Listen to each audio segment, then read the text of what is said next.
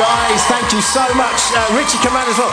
I know, Richie, you saw the show last night, didn't you? Yes, I did. It was very, very good. You got a lot of talent this year. I know you can't pick anyone out. I know the names and so forth, but you impressed with it? Very, very impressed. I think the talent this year supersedes last year. Hey, Jon, the band just got bigger. I'm sorry about that. I love it, man. Now they're going to be opening for us on tour. Watch out.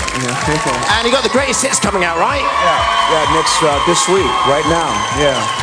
Listen, I just have to ask, uh, Mary Wagner, what was it like over there? Performing with Bon Jovi, great? Good Wagner? Good? Wonderful stuff. All right, ITV special next weekend as well. For now, what a way to open the show. We give you the one and only Bon Jovi. All right, last night the finalists tackled some Halloween hits. Here's a reminder of the 11 performances, the voting details you need, and all the backstage reaction from last night.